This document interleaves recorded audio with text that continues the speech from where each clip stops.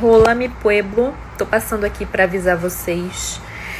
Avisar não, né? Lembrar da maravilhosidade que é o CBD.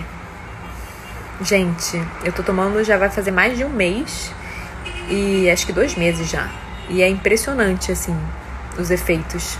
E tudo que eu tenho na pele, se eu tiver algum negócio na pele, eu vou e passo CBD e melhora. Melhora.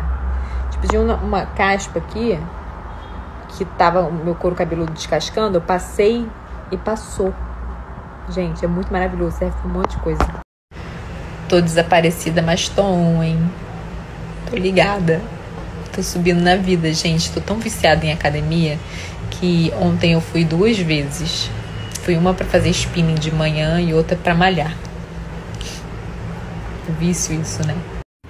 Gente, vocês não sabem o que eu acabei de fazer. Eu passei pra cozinha que é lá.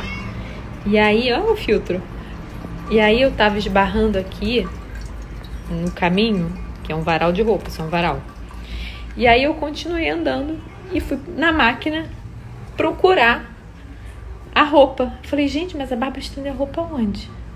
Aí voltei e aí vi que tem um varal aqui no meio do caminho. Eu passei por aqui e não vi o varal.